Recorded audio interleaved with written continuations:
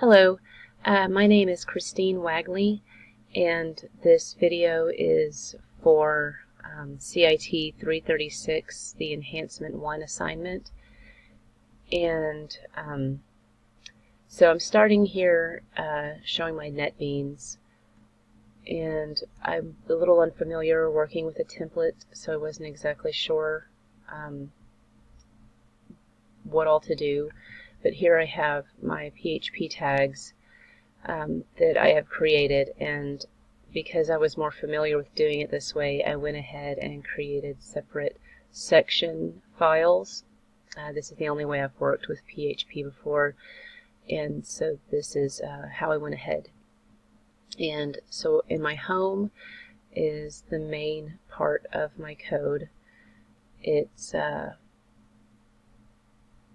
got like a lot of the images, the the the rocket, the um, recipes and everything, and I've put those into a table to help me design it a little easier in CSS. And then I also have um, my header tag that has like the the site logo and stuff on it, and the head tag has my meta information in it. And then I have the footer, uh, which is just basically the footer, and all of those are pulled into the template here. Um, and so if I run this, I'm going to go ahead and pull this over from my other screen. Uh, this is what I came up with after um, attempting to make it look as close as possible to the assignment um, example that we were given. And so, a little bit more. Um, from here, uh, to check responsiveness, I, will go into my developer tools and uh, we can see that the view, um, the responsive view does show the changes of uh, pulling everything down into a column rather than going across um, when it was in the original view and it also has the uh, everything just kind of pulled in and it's still you're still able to read it. Um, and so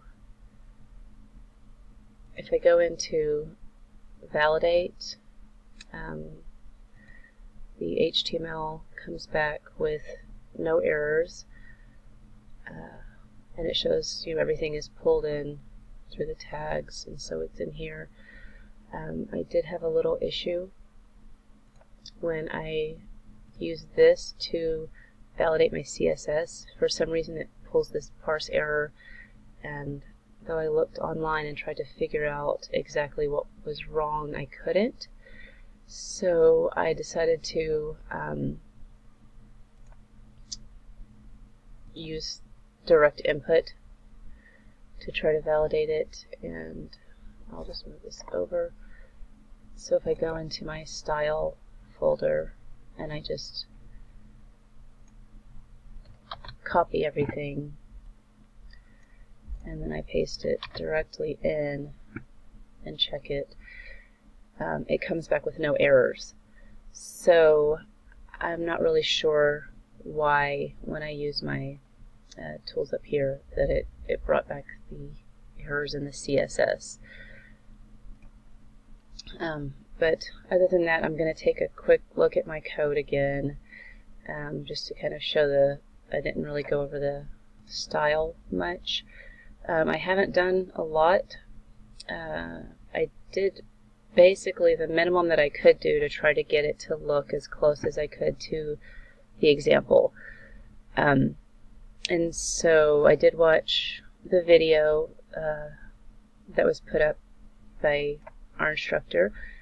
And uh, this is where I've added in the responsive uh, for the uh, navigation menu. And I used some of that uh, just to kind of give me an idea of where else I can use it on the page. Um, but for now, it's it's all pretty simple. Um, a lot of things. This is for uh, where the recipes and the reviews are together. Um, the logo, the main body, and uh, where I've styled my table that I created uh, with the the recipe information. and that is pretty much all that I have for this assignment. I hope that it uh, at least comes close to meeting the expectations. Uh, I did have a, quite a, a, hard time getting this done, but I I tried really hard and I did the best that I could. Um, so I appreciate the opportunity and uh, thank you.